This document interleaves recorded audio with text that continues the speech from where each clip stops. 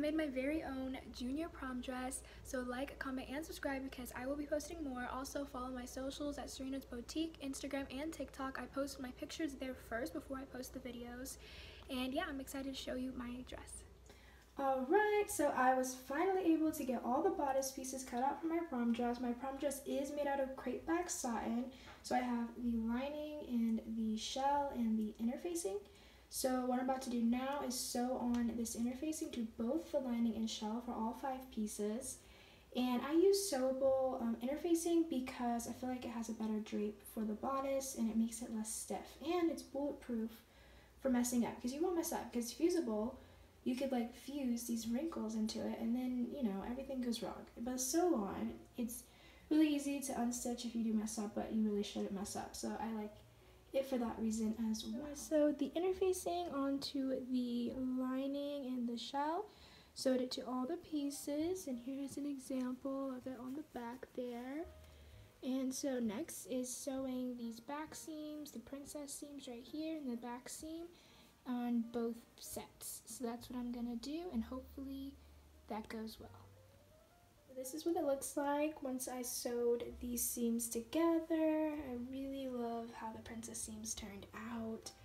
It is just so beautiful in this color and like the shine and that's why like the sewn interfacing like it still looks like satin which is nice and yes this is really really pretty and I'm in love. After I sewed the shell bodice together and the lining bodice together, I took the lining and I added these boning channels of 3 eighths of an inch to the back seams and the princess seams. And I found that it was really hard to do the princess seams because it curves at this interesting angle. So it was really hard to get that, but I got them on there. Um, kind of difficult, so I'm proud that I got that done. And yeah. So this is what the seam looks like after I've sewn it all the way around, right sides together. And so basically the next step is to cut notches into here and trim the seam allowance off so it's not bulky. It's really important to cut these notches because on these curves especially because that tension is gonna be released and then it can lay flatter. That is a really big tip. Never forget that. Okay, so this is the bodice before I attach it to the skirt and it looks so pretty. I'm loving it. This is kind of how it'll look on and that neckline. It looks so cute. I love this. And then so now I'm going to put the boning into the boning channels. Now that the bodice is all complete, looking cute, it's looking professional. What's next to address? Uh, the skirt. So I'm going to cut out the skirt layers. I have two bolts of tulle, 16 yards in total, 8 yards on each bolt. And I'm going to cut that out. I think I'm going to do four four layers of tulle and then I have one layer of crepe back satin that I have to cut out too. And uh, yeah, so now I'm going to take this cut this out because I love sewing. I really hate cutting fabric, let's be real, but it's okay because I'm really cute. So, finally finished cutting out the skirts. It was a interesting time. um, so I have two layers of skirt over here and then two layers over there, and then I have the crepe back satin lining skirt underneath. These are on fold these are not. I have to sew it with a quarter of an inch on the center front seam because I didn't have enough fabric to like put that side on fold. So basically what I did is I sewed those two layers together on that middle seam. You can kind of see through there. When it's all said and done, you wouldn't really see this. Um, and then I took those layers, so two layers, basted them together at the top. Then I took the other two layers, basted them together at the top. Then I took the two layers and I basted together put them together, and then I basted it together at the top to get this. So now all four of the layers are on here. So yes, there's four layers of tulle right here. So yeah, now I have to just connect this to the satin, crepe back satin lining layer. I did pin it and I basted it, like I said, to the lining layer. But the only issue is, is that this ended up being too long. And I'm sure that the satin layer just kind of, you know, stretched it out after I cut it. So it's about two inches too long. So I'm gonna go in on the edge here about two inches in until this matches. So then we can have an even, you know, side seam there. So I'm gonna do, and then I'm gonna gather this together. These in, and I pinned the skirt and gathered it to the bodice. So now I just have to sew with 5 eighths of an inch to attach them. I accomplished putting the zipper in and I used a number 5 um, zipper teeth.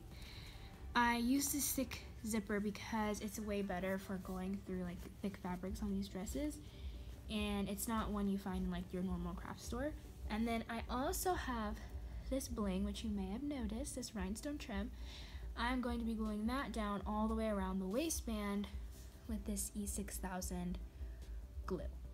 I finally glued the trim on. It took a little bit because I had to use a toothpick and put the glue on the stones so it doesn't like you know spill out or get on the fabric where I'm not gluing the rhinestones so it just took a little bit of patience but I got it on there and it goes all the way around the back and I made sure to keep it kind of far away from the zipper so it's not in the way of the zipper trying to go down but yeah so now the next step is to sew on the sleeves I decided to add a pearl overlay to my drape sleeve. This is Pearl Tulle and the pearls are fixated with this metal backing. So I had to go through and pick out the pearls with pliers that fell along the seam allowance line. Over here it's a half inch, which is where I'm going to sew the sleeves together. And then over here it's an inch, and that's where I'm going to hand sew it to my dress. And it will have like this inch of fluff hanging off, and it'll be really, really pretty. So yeah, that's what I did.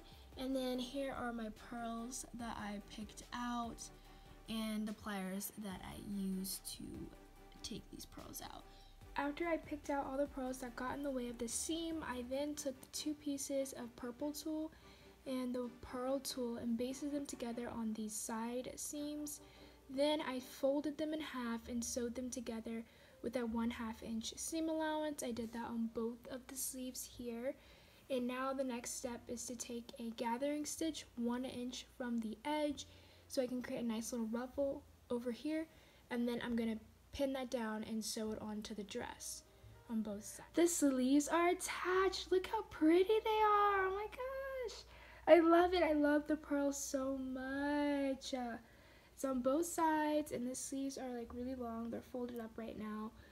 But look at that. So what I did is I went an inch in from the zipper line and attached the sleeves, just an inch in. And before I attached it, I did a gathering stitch. So I did a basting stitch, gathered it together, pinned it down an inch away. Then I sewed it down one inch away from the edge on the actual fabric. So that's what I did, and now they're attached. And the next step is to level out the hem, and we're almost done with this dress. Just did a nice rolled hem on my serger. It looks so professional. This is my favorite hem. Like, I feel like it looks the best. It's the easiest. I just love it. It is a gift. so yeah, that is complete. And now the hem is even. In order to hang up my garment, I sewed on these little loopy things. I think they're called loop hanger loops. I think so. Yeah. So I sewed these on and all it is is ribbon that's a 1 8 inch thick and I just sewed them on and look at now the dress is complete it's crazy thank you guys for watching I really enjoyed making this dress I had a lot of fun at prom and I will be posting more so follow me on my socials subscribe to my YouTube and see my sewing journey. And I did sew this dress over the course of three weeks instead of 24 hours like my last video. So I did a little here and there and I think that helps with like the stress factor and it was more like casual. So yeah I had a lot of fun